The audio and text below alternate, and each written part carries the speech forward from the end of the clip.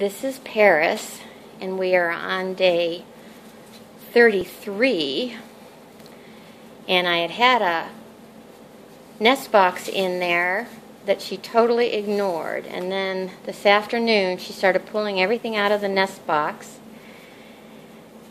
and is very busily building her own little nest and doing quite a good job at it a lot of that fiber is fiber I had combed out of her. And when I put it in the pen, she seemed to really enjoy having it there. So she's working very hard to get everything over into this corner.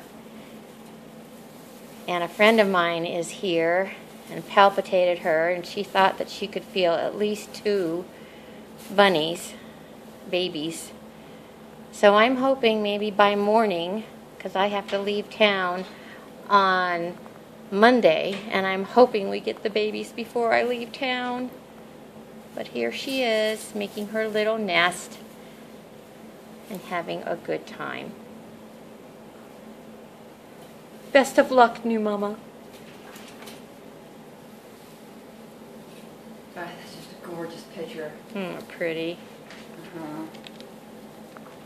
She's doing such a good job. Yeah, she is. A.